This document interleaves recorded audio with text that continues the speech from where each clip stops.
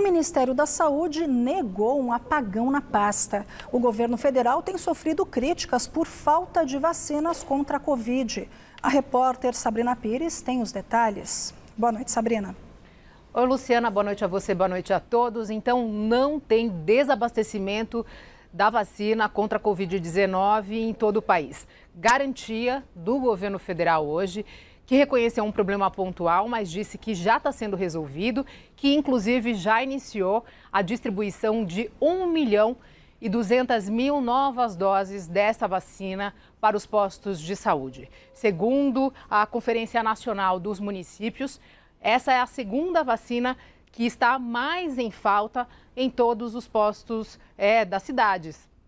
Mas agora o governo disse que esse foi um problema momentâneo, segundo uma nota do Ministério da Saúde divulgada hoje, e informou que, além dessas vacinas que começaram a ser distribuídas, também fez já uma compra de 69 milhões de doses para os próximos dois anos. Isso a gente está falando da vacina de Covid-19. Mas essa nota também informou sobre outras é, vacinas, outros imunizantes. Da varicela, que é aí para as crianças, então foi feita uma compra emergencial de 2 milhões de doses, que chegam já no próximo mês. E além dessa, também a de febre amarela, 6 milhões e meio de doses que também chegam aos postos de saúde em novembro. Então, segundo o governo, garante aí que não tem apagão de desabastecimento nas vacinas.